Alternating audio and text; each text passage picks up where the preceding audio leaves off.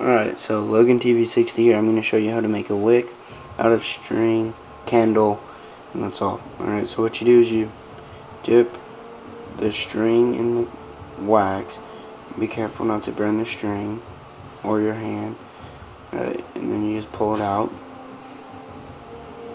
and let it dry. You can just sit it like this or whatever, I don't care.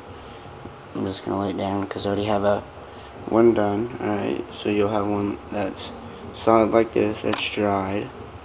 Okay, and I'll, and then you put it in whatever you want, and then when you're ready, just slide it up, and it should burn slowly, like so.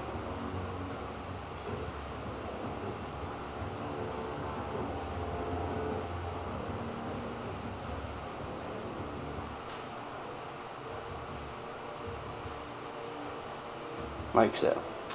Thank you for watching, comment, rate, subscribe, and do whatever you need to. Thanks for watching. Bye.